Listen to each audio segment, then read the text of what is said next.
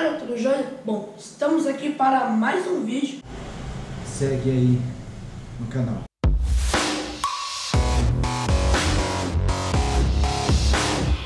Voltamos aqui, galera. É, queremos falar uma coisa em especial, que fomos convidados ontem, né? Aí fomos. É, fomos convidados pelo, pelo Diego Rigo Neto e o Neto é, para o lançamento tá, da Netflix, é, que o Diego participou e realmente é, estão de parabéns, que foi uma mega de uma produção. Vamos acompanhar aí no canal. E aí galera?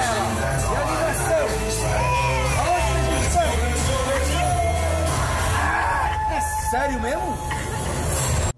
Vamos passar essas imagens aí. As imagens não ficou como gostaríamos, porque, é, como já explicamos, fizemos o melhor possível. Acompanhe aí essas imagens aí, dessa incrível façanha aí.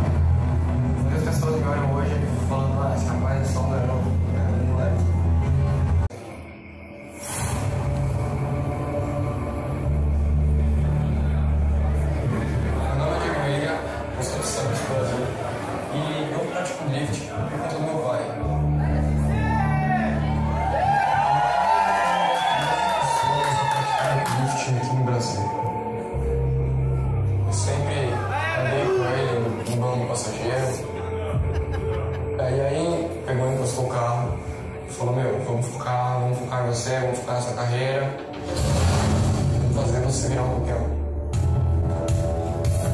Meu primeiro momento atrás do volante, dirigindo um carro de verdade, foi um sonho realizado. Foi naquele dia que eu decidi que eu queria aquilo. Eu comecei a competir com 14 anos. Eu sou tricampeão brasileiro da Super Drift Brasil.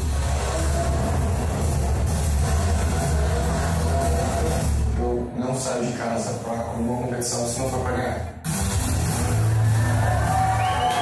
Muito boa do meu pai, a paixão pelo carro, a paixão pelo drift, é o que faz nos unirmos, seja o que for, seja uma corrida de kart, seja uma corrida de bicicleta, seja um jogo de kart. O meu pai me ensinou sempre ganhar. Eu quero agradecer a todos pela presença de todo mundo.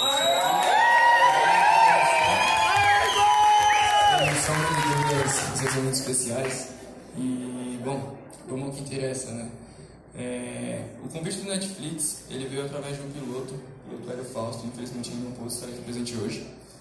Ah, por ele ter a escolinha de drift na época, a única escola de drift que tinha site e tudo mais, o pessoal da organização entrou em contato com ele, eles fizeram uma amizade com o Elinho, e o Elinho selecionou alguns pilotos ajudando o pessoal da organização que teriam potencial para poder ir competir no Netflix. E um dos pilotos fui eu, e aí passamos por diversas seleções, meu. Nossa, foram acho que cinco formulários assim de 50 perguntas que a gente teve que responder, uma coisa muito desgastante. Coisas que a gente teve até pesquisar para saber para responder, né? Tipo, assim, o que é isso que eles estão querendo saber? Nem eu sei. Mas foi desse jeito que veio o convite do Netflix. E Neto, vocês sabiam o que o esperavam lá? Quando chegaram nos Estados Unidos? Não. Primeiramente, muito obrigado pela presença de todos vocês. Realmente vocês são muito especiais. Mas nós não sabíamos de nada, Tati. Nada, nada, nada, nada, nada. Inclusive, foi até uma, uma surpresa para nós assim quando nós chegamos lá, porque tinha alguns pilotos de que estavam totalmente preparados para tudo que ia acontecer. E aí eu cheguei pro dia e falei, meu, não tem pilotos que estão totalmente preparados e nós não estamos. Aí que nós damos contas de que quase todos os e-mails que eles mandaram depois para nós Quase todos não. Os que eram pertinentes à prova, porque era uma outra empresa que mandava isso, foram tudo pro spam. A gente não nada. Nós chegamos lá, tipo, com a cara e com coragem, com o carro, com toda a estrutura que a gente já havia montado pro dia de 2017, mas, tipo, sem saber de nada. Então, pra gente, assim, foi algo tipo, E aí as provas foram surgindo, vocês conseguiam testar antes as provas? Não. A gente chegou a receber um e-mail que foi que eles falavam um pouco sobre o que talvez aconteceria. Eles falavam Sim, na sim, prova do sim, elevador, sim, sim. falavam na prova de raspar o carro, mas nada a fundo, como os outros pilotos tinham recebido e já estavam lá todo mundo preparado. Mas. Desculpa, qual foi a sua pergunta?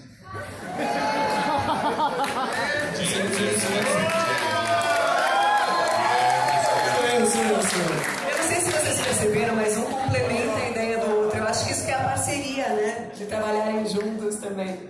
Vocês, Tapas e beijos. vocês conseguiram testar lá? Mas tava sem beijo de vez em quando. Vocês conseguiram testar as pistas antes, as provas, ou era tudo de surpresa? Como é que era? Então, teste nas pistas não tinha. Eles cediam no começo, nas primeiras duas, três provas no máximo. Eles cediam um espaço pra gente treinar, é, tipo, ver se o carro tava bom, se tinha algum defeito no carro, o defeito, e um, um quadrado que não tinha nada a ver com a pista. Era uma van da, da Netflix, né? É, Só todos Uma pilotos van deles andava conosco. E os pilotos, na realidade, os spotters iam dentro dessa van e os pilotos iam seguindo essa van dentro do carro. Mas assim, não fazia nenhum obstáculo, nada. Ele só passava Devagarinho. e aí eles iam falando o que tinha que fazer e eu lá dentro, tipo, anotando e passando pro Diego, supostamente. Esse nivelador, por exemplo, você nunca tinha entrado? Não. Alguma coisa assim? Na verdade, eles fizeram um treino. Um treino? Não, né? Eles deixaram cada piloto apenas cruzar, nunca equilibrar o carro. Tem provas à frente que a gente vai ter que equilibrar o carro que vocês não viram ainda, ou quem já viu já sabe. Mas era só passar, só para sentir o, o, o grau da, da inclinação e tudo mais. Agora, a gente assistindo já fica emocionado, sabe? Que realmente o negócio é power. Mas como é que foi pra vocês naquele instante lá? Nesse momento que a gente viu lá, freio sem funcionar, você tem que decidir, vai filho, vai. E é filho ainda, né? A gente não tá falando só de um companheiro, de um colega de trabalho. É, nessas horas a gente tem que manter a calma, né? Tipo, o, o legal do, do spotter, do olhinho, ainda não consegue enxergar. Então é onde você tem que tentar passar uma tranquilidade para eles e ir conduzindo, porque não tem o que fazer, gente. Ou você tem calma e tenta finalizar, ou acaba ali. Ou vai ou vai. E foram só beijos ou tapas também? Ah, não, não. Tapa sempre tem, tapa sempre tem. Fica nos bastidores, mas tapa sempre tem. Não Sempre tem, sempre tem. Principalmente antes das corridas. Porque depois que rolava todo esse briefing, toda essa volta de estudar o percurso, ele me cobrava muito que eu ficasse estudando o percurso. Isso aí. Mas o meu psicológico estava muito afetado. Então a gente discutia por causa disso. Ele queria que eu continuasse estudando e eu falava, não consigo. Se eu estudar, eu vou surtar aqui, me deixa. A gente brigava bastante por causa disso. Não parecia muito surtado, não. Parecia bem seguro ali, pelo que a gente viu. É o começo, né? E o que, que, Depois, e o que, que foi mais difícil nesse processo todo? Porque vocês chegaram lá, viram equipes mais bem montadas, né?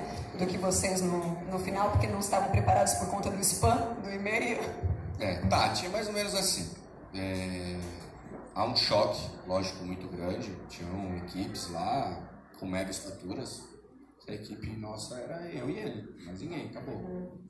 O carro, e vamos ver o que dá.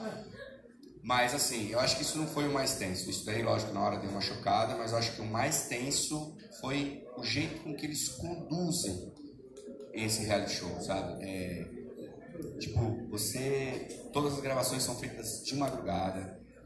Você não tem horário para dormir direito, porque muitas das vezes o horário que sobra para você, você tem que fazer manutenção no carro.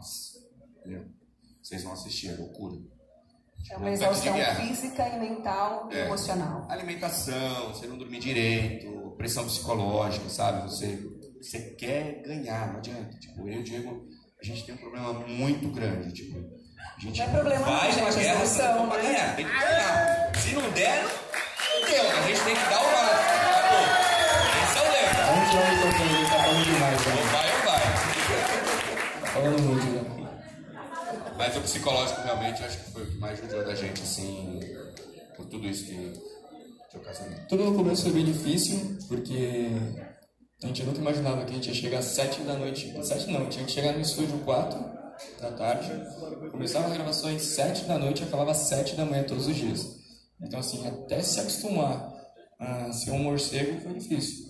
Mas depois a gente entendeu como funcionava e, e seguia. Mas com certeza meu pai puxou muito meu pé, tinha às vezes que. Vocês não verem, não vou falar muito, mas acontecia problemas com o carro. E aí dava meio-dia, a gente dormia às sete da manhã, dava meio-dia, ele vai, vai, vai, tem que ir embora, vamos embora arrumar o carro. E aí tinha que sair, comprar peça, desmontar o carro, arrumar, tentar achar uma solução. Foi bem puxado, mas valeu muito a pena. Com certeza. Vou pedir então uma salva de palmas para eles.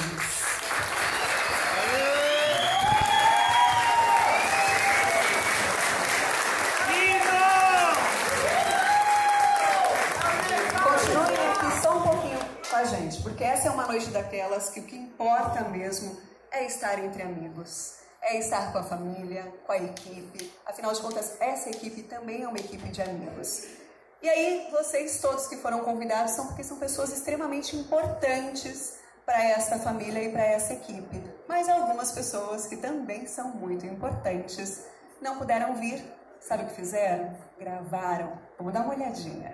E, mano, é um cara sensacional, sei do seu talento. Vi você andando aqui com o meu carro tudo quebrado, tudo zoado. O seu carro também que tá aqui, que eu também vou pegar ele pra dar uma voltinha, né? Porque não pode deixar parar, tem que fazer uns drift com ele, né, pô? Tem que queimar uns pneuzinhos, né? Daquele jeito. Mas, ó, tô te esperando aqui novamente pra gente se encontrar em Orlando, dar mais uma volta, fazer mais uns treinos. E tamo junto, mano. Tamo junto demais. E, ó, se prepara que eu tô chegando do seu lado, tá? Fique esperto, tá? Senão, ó, tô chegando. Parabéns, irmão. Tamo junto. Hola, Diego. Sorry I can't be there to celebrate with you, but congratulations on that first finally doing some Arkham Drive.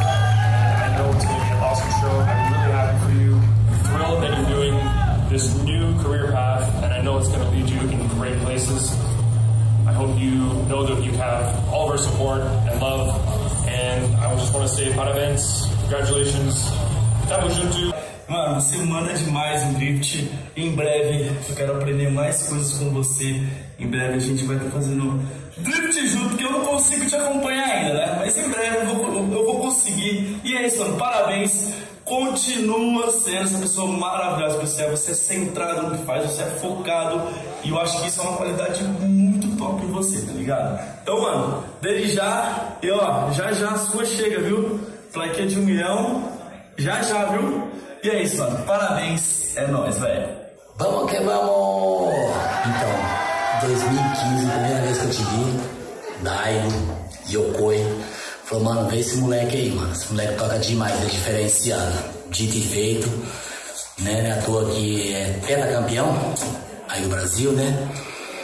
E meu sonho, mano, é de ter um brasileiro representando a gente aí, né, mano? Numa competição internacional, na Fórmula Drift ou no D1, quem sabe. E eu espero você aí realizar o sonho do velhinho, mano. Vocês merecem todo o sucesso do mundo. Essa série do Netflix vai ser um estouro. Não vejo a hora de poder assistir. Logo menos também tô no Brasil pra gente poder comemorar quando eu estiver aí, hein? Fechou? Um forte abraço pra todo mundo aí da festa. Infelizmente não pude estar aí para te dar um abraço, mas estou aqui para te parabenizar por todo o sucesso, te falar que é só o começo. É, eu sempre falei para você que tu é o cara. Aquele videozinho nosso andando dizer lá que eu te empurrei tá guardado aqui só esperando você ficar mais famoso ainda para eu divulgar para os outros, mostrar que eu te empurrei, entendeu? Mas é isso aí, velho. Quero agradecer você, você, o Neto, a Karen, por tudo que vocês fizeram por mim no Brasil. Muito obrigado mesmo de coração. E, mano, vai com tudo, que é só o começo. Muito sucesso pra você, Neto. Um beijo pra todo mundo. Valeu, é nóis, tamo junto. Fala, Dieguinho. Infelizmente eu não pude estar na sua festa, então no mínimo que eu podia fazer era filmar esse vídeo, parabenizar e desejar boa sorte nessa nova fase da tua vida, que é o pós-série do Netflix. Muito feliz por você ter participado, tô louco pra assistir, não vi ainda, mas tenho certeza que vai ser muito top. Eu desejo toda a sorte do mundo pra você que você merece. Você é um cara incrível, um excelente amigo, um excelente piloto. Então toda a sorte do mundo pra você e curte aí essa nova fase que tá por vir. Abraço, meu irmão.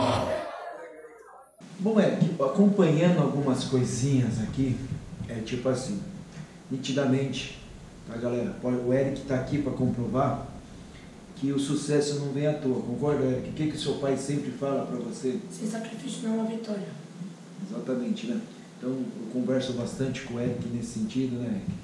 Que tem que ter um empenho, tem que ter um sacrifício. O sucesso, as pessoas que realmente se destacam, não é à toa, tá? Tem muitas coisas envolvidas aí, tá? É, as pessoas vê assim, é, estão vendo, tá? O sucesso de outras, mas não imaginam o que tem por trás desse sucesso todo. Você O que concorda? custou? Exatamente. Então é o que mais ou menos o Eric está vivenciando agora, muitas vezes, tá? É, ele também está deixando de fazer algumas tarefas, não tarefa escolar, para poder correr atrás dos sonhos dele, de poder um dia se tornar um piloto ou algo parecido. né? Isso, isso mesmo. Foi muito bacana, galera. Mais um pouquinho das imagens aí para vocês. Porque drift pra mim era no Japão, né? Veio pra cá, era brincadeira, tirou uma onda e tal. De repente, não, vamos fazer esse negócio aí. E. Meu. Ter essa mocinha do meu lado. Incentivar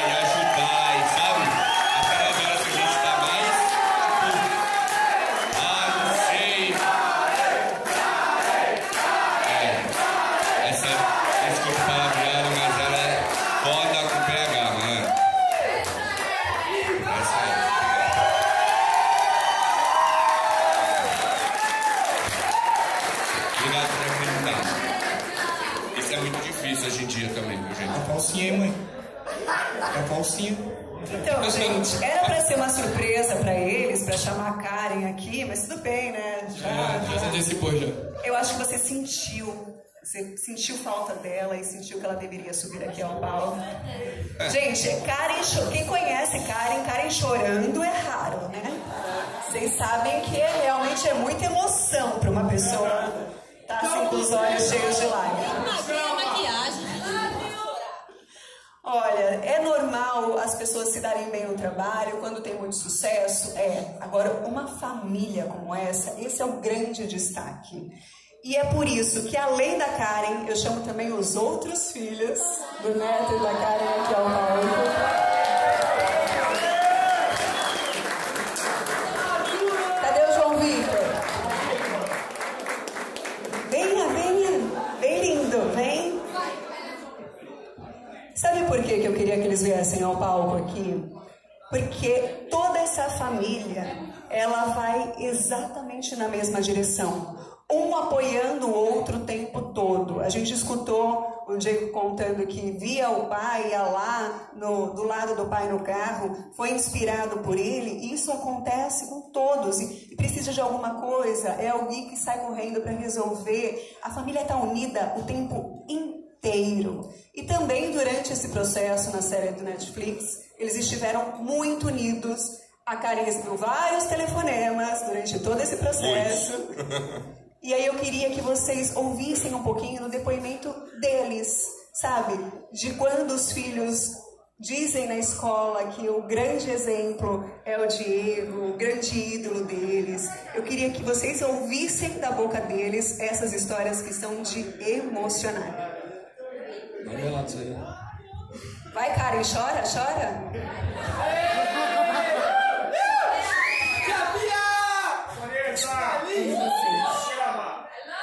É, realmente, quando eles foram para lá, foi um momento muito tenso, ao mesmo tempo que a gente estava muito grato por, pela oportunidade, que eu acho que muita gente sonha com isso, mas não chega para todo mundo.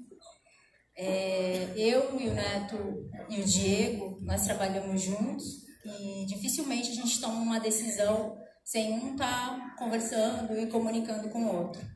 E para mim, particularmente, foi muito difícil o período que eles estiveram lá, porque eu fiquei aqui sozinha com os dois menores. O Gui, para quem não sabe, ele mora em Campinas e ele só vinha final de semana. E diferente de quando eles foram para a Fórmula Drift, a gente falava mais, resolvia muitas coisas das empresas por telefone. O Netflix a gente não podia, não podia passar a preocupação para eles das coisas que estavam acontecendo aqui. que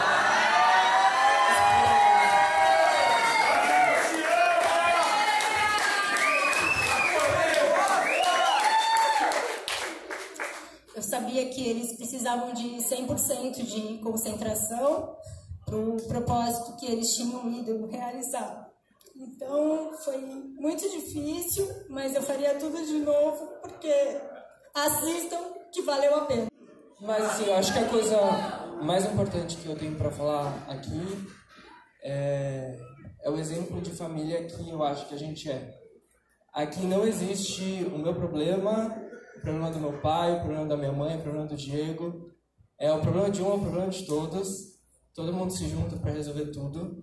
A gente pode sempre, sempre, sempre, não importa quanto o outro está ocupado, contar um com o outro para resolver tudo. E eu acho que isso que traz muita força para a gente. É, acho que isso que possibilitou isso tudo, como minha mãe falou, a gente teve que resolver muita coisa aqui enquanto eles estavam lá. Foram meses, dois meses, que, que eles estavam concentrados totalmente naquilo. E quem conhece sabe, meu pai e o Diego estão sempre na rua resolvendo coisas. Então imagina ficar isso tudo na mão da minha mãe e eu lá de longe tentando ajudar como eu podia. E acho que o exemplo que fica é esse: a família unida, você vai longe, muito longe. Então, muito obrigado pela presença de todos. Arthur, conta pra gente essa história de que ele é seu ídolo. Então, é, eu sempre comecei a me inspirar quando eu era pequeno, porque meu pai sempre me levava para andar com ele quando ele ia sair para fazer drift em alguns lugares assim. E eu comecei a mais me ver, assim, quando o dia começou a fazer drift. Eu comecei a gostar mais do esporte, eu comecei a ficar, tipo, mais ligado nas coisas. E hoje em dia eu fico esperando que ele me ensine mais do que ele sabe, pro futuro, essas coisas. E que eu seja melhor que ele.